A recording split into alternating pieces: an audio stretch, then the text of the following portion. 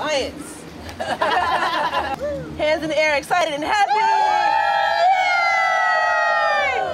Danielle is your leader. Do not go past Danielle. She knows where she is going. We do not. Respect that.